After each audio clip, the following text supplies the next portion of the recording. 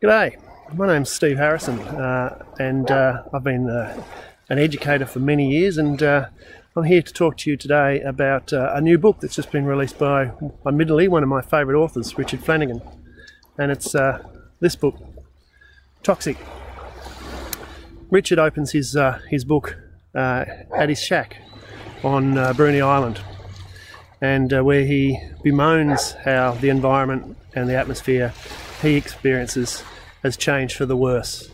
And he blames it all upon the Tasmanian salmon industry. Well, this is Port Esperance.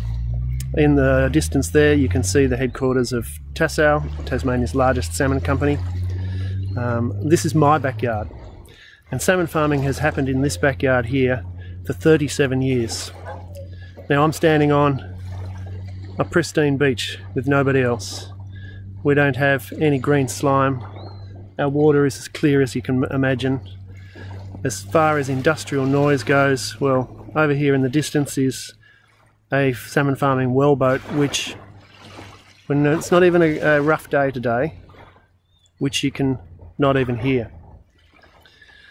And uh, unfortunately, today in our in my backyard, we've got this, which is a regeneration burn carried out by Sustainable Timber Tasmania, and uh, I think that sustainable should perhaps be in inverted commas. A, uh, a previous target of uh, Richard Flanagan's uh, efforts, and one which, uh, rightly or wrongly, I think uh, I think I agree with, but not on this latest one here. So Mr. Flanagan blames the destruction of this in, this environment upon the salmon farming industry, and he launches into an emotional tirade against the industry, which I find the facts don't that he quotes do not actually stack up. One claim that uh, Richard Flanagan makes in his book Toxic is that you can't catch a flathead anymore in the Huon and in the Channel. And a flathead, our most popular recreational fish, is yes, it's uh, it's difficult to catch a flathead as easily as it was 20 years ago.